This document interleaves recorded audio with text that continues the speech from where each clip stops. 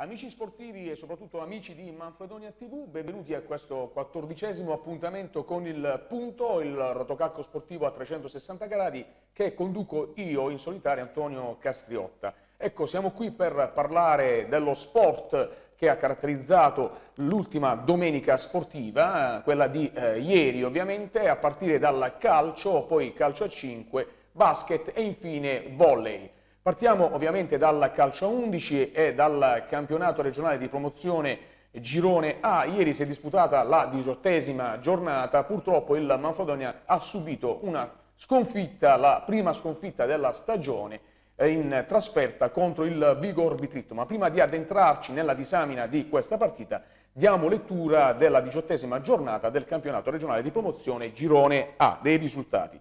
Borgorosso Molfetta Canosa 2 a 0, Football Club Capurso Ars et Labor Grottaglie 0-4, Castellaneta Calcio 1962 Rinascita Rutiglianese 4 ad 1, Donuva Calcio 1971 Nuova Spinazzola 1 ad 1, Noicattaro Calcio Sporting Apricena 5 ad 1, United Sly Real City 5 a 0, Ginosa, Norba Conversano 1-0, Vigor Bitritto, Manfredonia Calcio 1932 2-1. Per una classifica che vede al primo posto a pari punti a quota 47 il Manfredonia Calcio 1932 e lo United Sly, a quota 39 il Vigor Bitritto, Real City 33, Ginosa 31, Castellaneta Calcio 1962 e Borgorosso Molfetta 28, Nuova Spinazzola 24, Asset Labor Grottaglie 23, Canosa 22, Rinascita Rutiglianese 20, Noicattaro Calcio 19, eh, Donuva Calcio 1971 18, Norba Corvessano 17, Sporting Apricina 9, Football Club Capurso, fanalino di coda a 0 oh, punti. Ecco, torniamo a parlare della, la, della partita, della delicata trasferta del Manfredonia Calcio sul campo del Vigor Bitritto. La partita è, è, è, terminata con una sconfitta, la prima della stagione del Manfredonia Calcio per due reti ad uno, una sconfitta che fa male al Manfredonia Calcio, anche se va evidenziato in effetti che il Manfredonia Calcio si è presentato a Bitritto con una formazione molto ma molto rimaneggiata a causa dell'influenza stagionale che ha decimato la nostra formazione. Infatti gli 11 che sono scesi in campo, ve li leggo, Murgillo tra i pali, De Filippo, Roberto, Mastropasqua, Telera, Sementino, Trotta, Cicerelli, Terrone, Stoppiello e Prota. Poi a disposizione vi erano Clemente, Eletto, Esposto, Armiento, Olivieri, Grumo e Fania.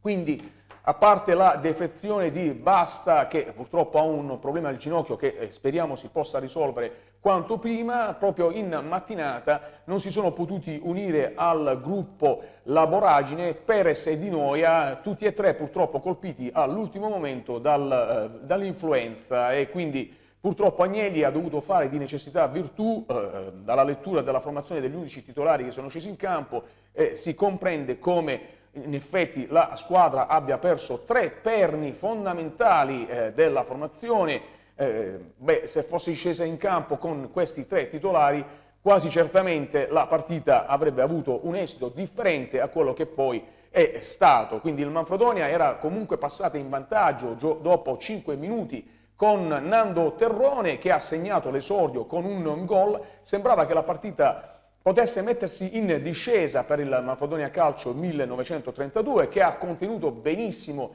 gli avversari e purtroppo poi così non è stato poiché nei minuti finali della gara, negli ultimi dieci minuti, il Bitritto è riuscito a pareggiare con Rana e poi c'è stato il gol nel finale sempre del solito Rana per il 2-1 che ha condannato il Manfredonia a questa sconfitta. Abbiamo avuto anche una sfortuna, va evidenziato un altro dato, ossia eh, Pasquale Trotta, il nostro bomber, che io eh, ritengo sia un giocatore che in campo valga per tre giocatori, per l'apporto tecnico importante che conferisce al reparto offensivo del Manfredonia Calcio 1932, purtroppo nei minuti finali del primo tempo ha subito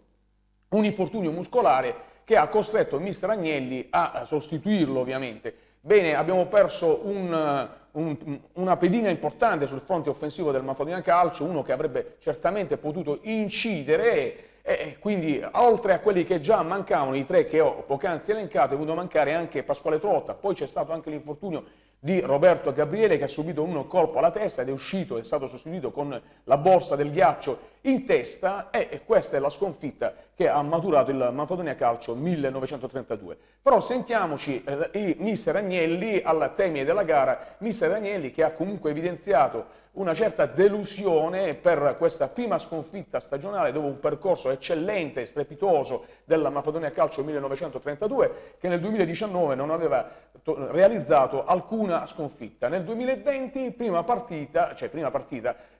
seconda partita del 2020, arriva purtroppo questa uh, sconfitta. Sentiamoci mister Agnelli.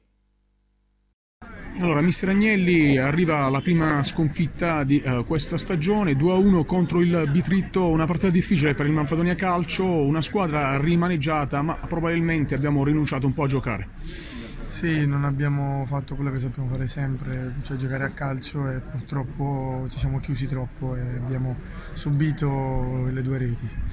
Ci sta come rammarico che quattro giocatori, tra cui tre con la febbre e l'influenza e uno Pasquale che dopo dieci minuti fatto male al costato non ha potuto dare un apporto alla squadra e questo è, è una grande defezione che ci portiamo purtroppo e il risultato è frutto di anche queste cose. Certamente sì, siamo partiti bene, eravamo passati in vantaggio con Terrone, poi abbiamo subito quasi sempre eh, il bitritto, c'è stata una tiepida reazione soltanto nei minuti finali, la squadra ha iniziato a giocare, quasi quasi voleva rincorrere il pareggio, ma non c'è riuscita. Sì, abbiamo soltanto, cioè, abbiamo soltanto, cercato di giocare verso la fine, ma è una cosa che dovevamo fare prima, me ne assumo la responsabilità io, come ho sempre fatto, e quindi cercherò di migliorare sotto questo punto di vista e far migliorare la squadra sotto questo punto di vista. Devo soltanto ringraziare tutta la difesa che ha dato una grandissima mano nel supportare la squadra perché siamo veramente hanno giocato una grande partita. Purtroppo queste situazioni nel, non ci hanno aiutato, oggi è stata veramente una giornata nera tra infortuni e influenza, non è andata bene per noi.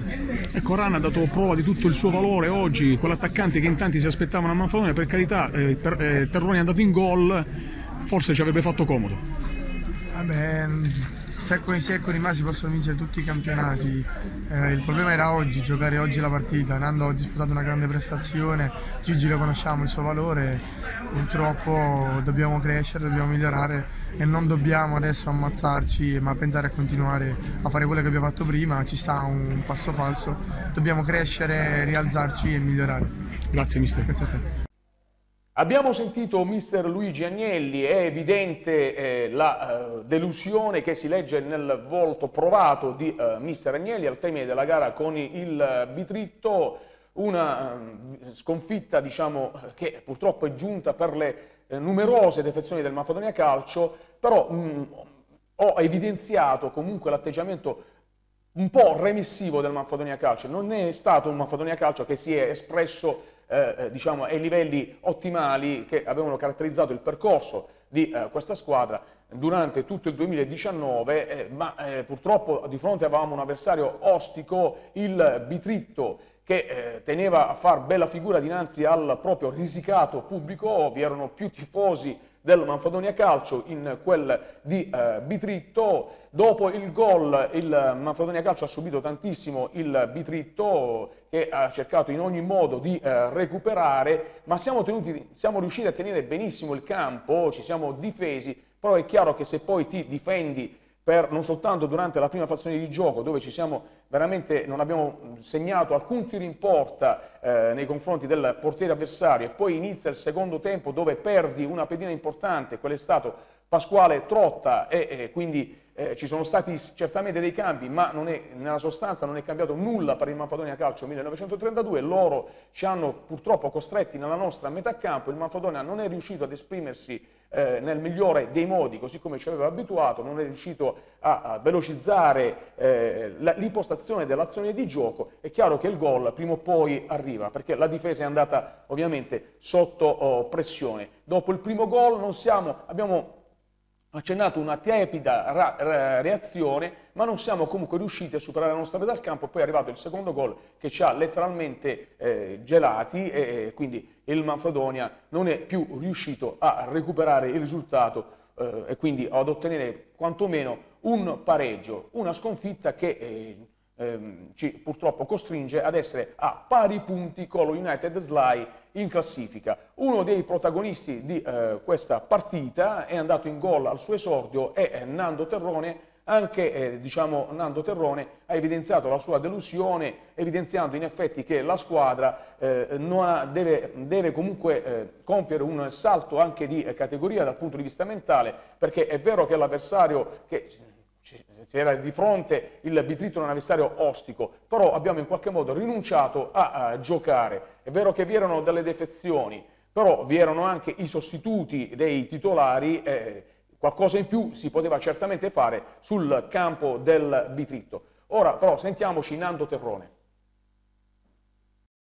Nando Terrone, l'esordio con un gol al quinto minuto del primo tempo, peccato che poi quel gol eh, non, eh, non, abbia consentito al Mafadini Calcio di ottenere una vittoria. Eh, diciamo eravamo partiti bene anche perché uh, pronti via, eravamo passati in vantaggio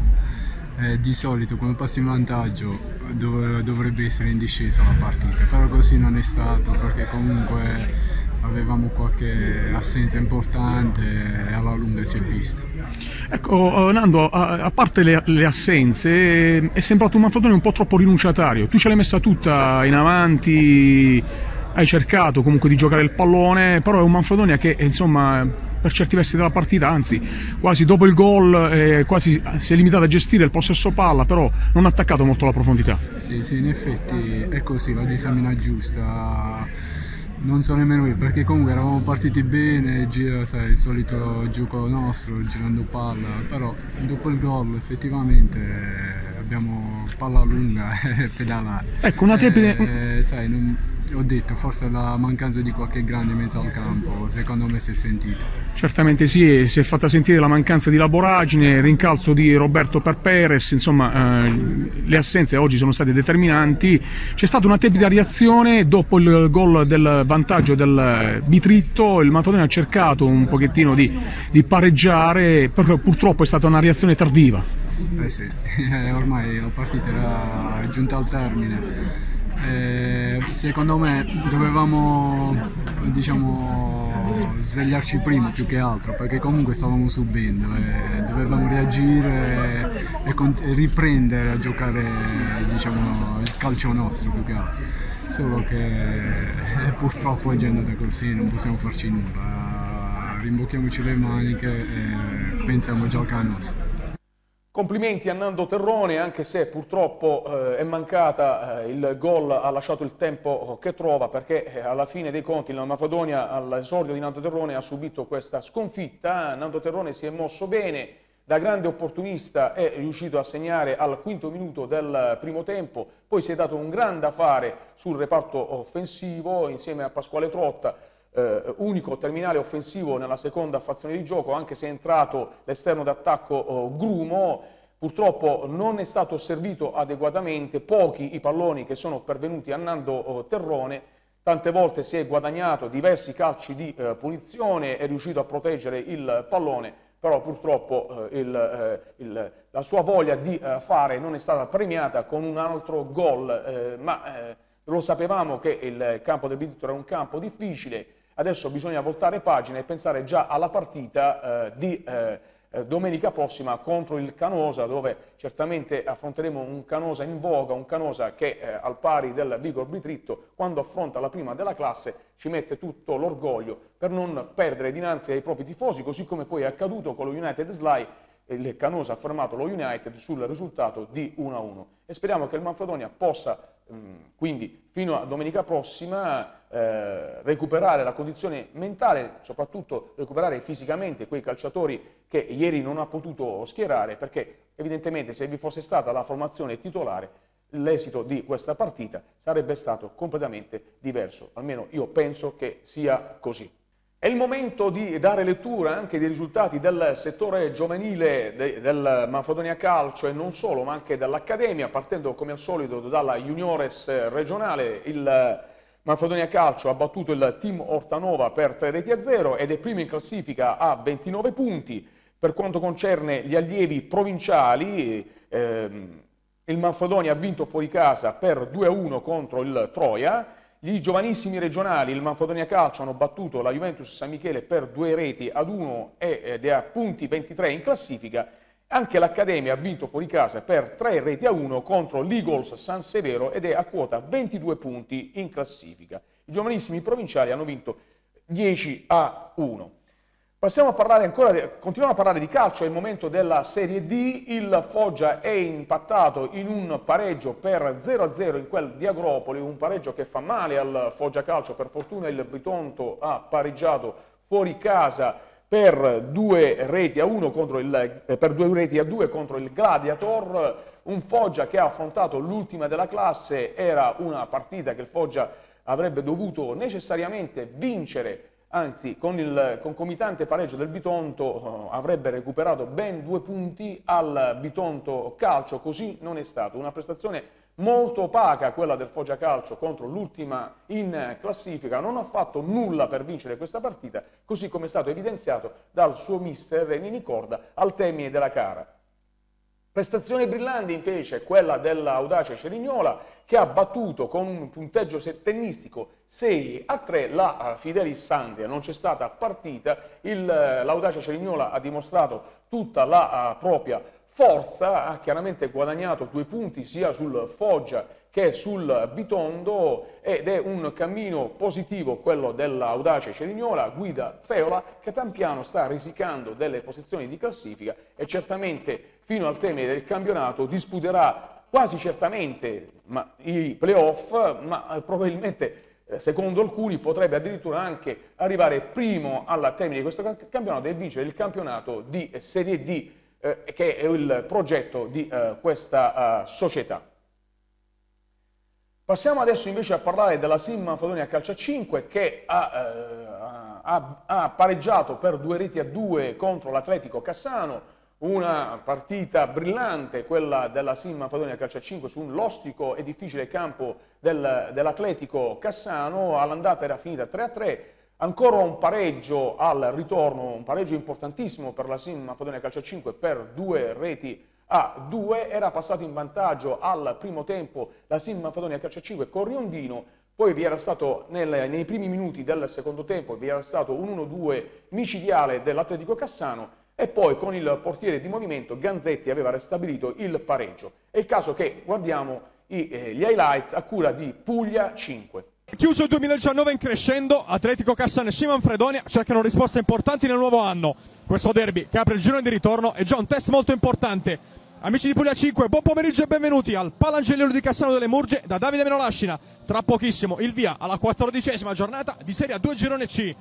Attenzione intanto Perri perde un brutto pallone, allora la palla è buona per Martinez che calcia col destro. C'è la parata di Di Benedetto, conclude verso la porta, vediamo, arriva il fischio dell'arbitro, Riondino decide di calciare e sorprende Di Benedetto sul primo palo facendo 1-0 per il Manfredonia. Si sposta Sverkowski, c'è anche Alemao pronto a calciare, va col mancino. Bella giocata di Aguilera, due volte Aguilera dentro per Ganzetti che manda fuori. Non concede il piede mancino all'avversario che va ad imbucare, poi va a calciare. Grande intervento di Di Benedetto e poi grande anche la scivolata di Fred che mura la conclusione di Ganzetti. Con la torre, prova ad accentrarsi, imbucata per Fred che si gira bene, calcia col sinistro, palla sul fondo, la migliore quarta, torniamo in cronaca però perché il Cassano in contropiede con Tiago, para col piede Lupinella, tenta buona per uh, Tiago che prova la conclusione, tiro che termina di poco al lato, mette movimento Martinez, Gaku sulla sinistra, prova a calciare verso la porta, a una mano, Di Benedetto mette in angolo, contro due per Manfredonia, butta Buzzi per Ganzetti, arriva Crocco, la palla sul palo e poi Svierkowski allontana. Fred porta e tiene palla, poi va da Svierkowski, Lupinella riesce anche a tenerla in campo. Esce fuori dalla sua area, bene Di Benedetto che poi prova anche a ripartire dall'altra parte. Carica il sinistro, palla non lontana dallo specchio della porta. Profondità per Alemao che la pizzica verso Peri, una finta Peri si accentra, calcia col destro, palla di poco al lato fischio dell'arbitro che arriva adesso, palla per Tiago, conclusione, arriva Lemao che la mette all'incrocio e fa 1-1 per il Cassano al quinto minuto della ripresa.